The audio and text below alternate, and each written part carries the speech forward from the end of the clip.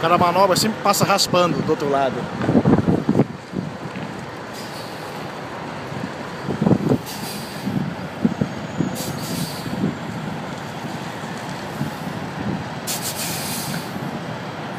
Dá puxadinha aí. Alguns falam quando ah, o cara dá puxadinha, o cara não é bom motorista. Eu, eu não concordo com isso. Como é que o cara não vai dar uma puxadinha num espaço desse? Tá? Tem que acertar a carreta no buraco.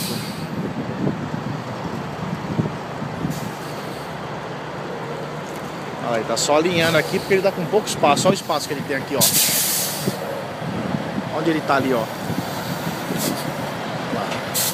Isso é um bom motorista. Tá fazendo tudo com calma.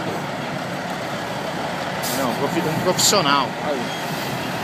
Vai dar outra puxadinha. Tá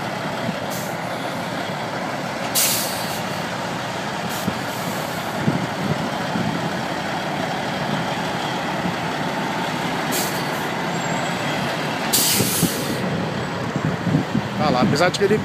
Olha a faixa amarela do outro lado. Colocou muito lá, mas o que interessa é que ele não bateu, ele colocou a carreta e agora ele alinha.